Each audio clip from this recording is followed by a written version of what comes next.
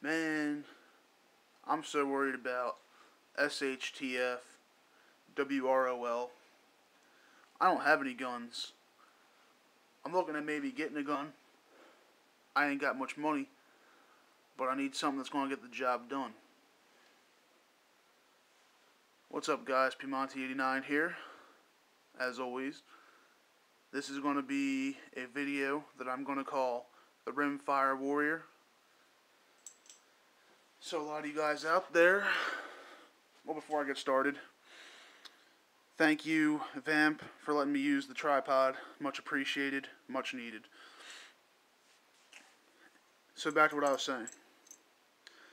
So, maybe you're out there, you're looking for a gun, you're worried about what's going to happen in the future, possibly the near future.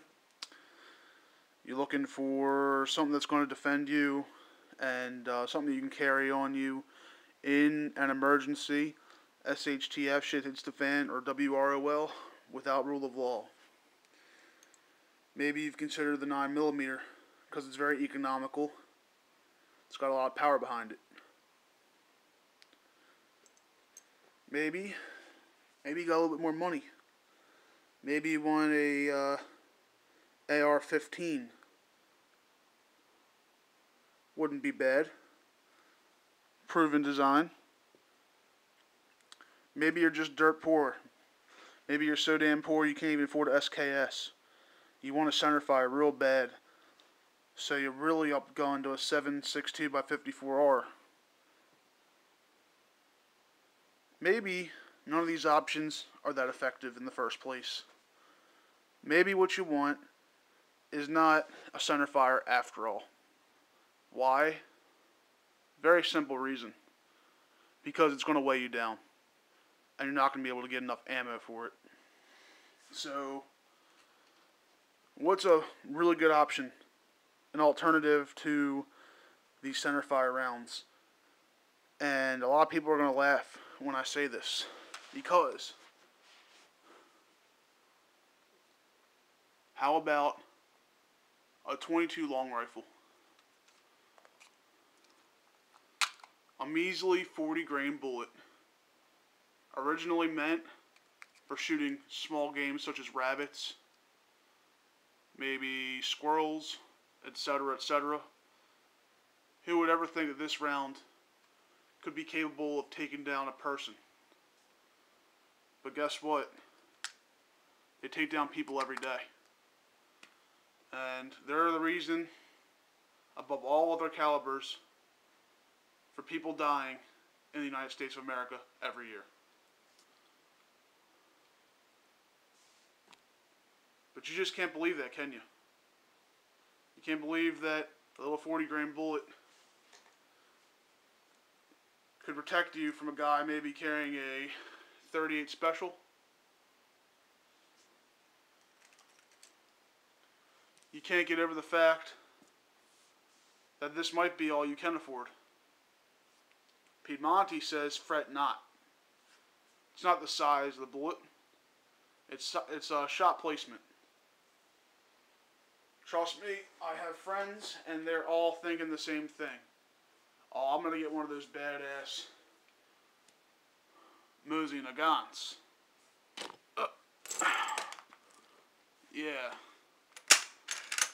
Big old nasty 7.62 by 54 with some Russian armor piercing rounds. But uh, you ever stop for a second to think about what else you're going to need to carry? Something to have light, create light, tools, and I highly recommend some sort of multi-tool. Doesn't matter the quality as long as it'll hold up and work for you. Maybe a Swiss Army knife. And above all else, tons and tons of food, water, and ammunition. And guess what? You're not going to be able to carry much ammunition with a 148 grain bullet. Guess what? You can with a 40 grain bullet. And it's been proven. As I said, it's killed more people than anybody else in the United States, or more, or this caliber's killed more people in the United States than any other caliber. The Mafia's used it. Assassins have used it. People that don't know anything about gun safety kill themselves with these things all the time. I overlook it as a little varmint round. Nothing special. But you know what I can carry instead of this big old hunk of metal right here? Because this is really heavy. This is about a 9 pound gun, guys. Ugh. How about a nice weather resistant light Marlin 795? Maybe you're not into the whole semi-automatics for 22s. Totally understandable, being that they are a rimmed cartridge and a rim fire. That's fine. How about this?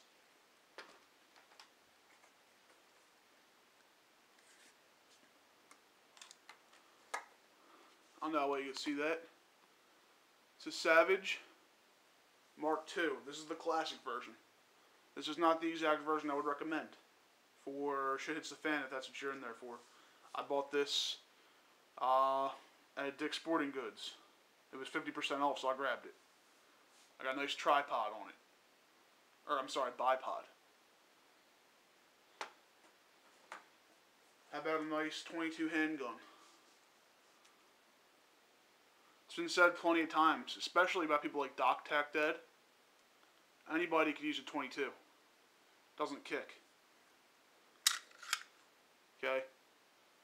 Is this the most practical handgun for SHTF? No. It's a 42 ounce Ruger Mark III target model with a bull barrel. It's got the thick barrel.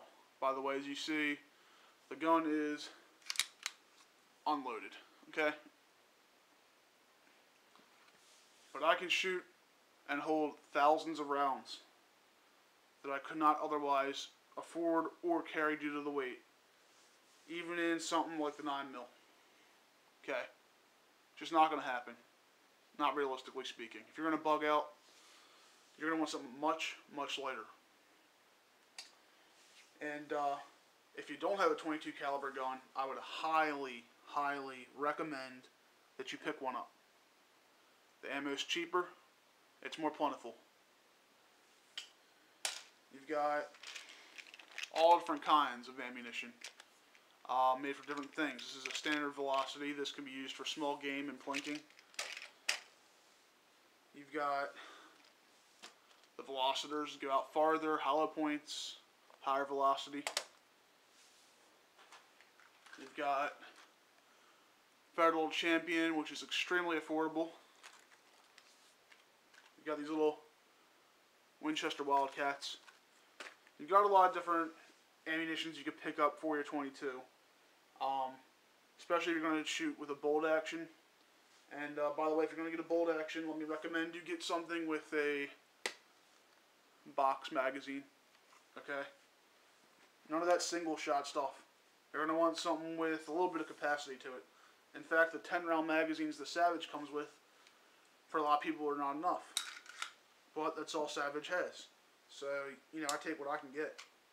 So, uh, and they don't make extended magazines for the Mark III. But you know what? 11 rounds of 22, so I'm counting the one in the chamber, obviously, is better than nothing. And it can get the job done. And uh, without a lot of recoil, you're going to hit those vital areas when you need to. Uh, you just spray them. but you can get the job done with the 22. Uh, some very disturbing news I found out when I went to go pick up this gun.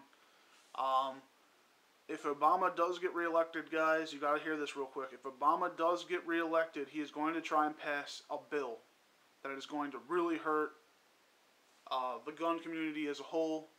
He's going to attack us by thinking outside the box.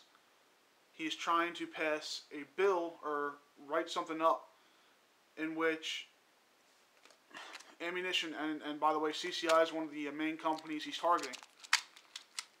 Let me see this cartridge real quick so I can show you what I'm talking about too. Okay. He's trying to Number one, he's going to try and uh, tax ammunition up to the point where it can be triple the price of what it is already. Okay, which is outrageous. He's also talking about putting a tax on gun owners, on their income. Uh, and above all else, that's really scary. He's going to try and make it so the primers uh, are no good after two years, which means you cannot hoard your ammo and uh, keep stockpiles of it. So, if you think that Obama's going to get reelected, guys, I don't know if he is or not, but if you think he is, um, I would recommend you pick up as much ammo as you can now and not have to worry about it. Unless you're a reloader, but it'll probably tax you for everything else too. Um, all reloading supplies and stuff. And they're going to put a limit on the amount of gunpowder you can buy at one time. So keep that stuff in mind. Um, this is only part one. This isn't a very um, in-depth video yet. And I do plan on doing more as time goes on. It is late at night, but I had to get this out of my system because I'm one of those guys when I have an idea in my head, I can't sleep. And uh, we're going to touch base on this a lot more uh, in a couple of days and uh, when I have some time at the range. So, uh, till then, remember, anti-gun is anti-American. Peidmonte 89 out. Peace.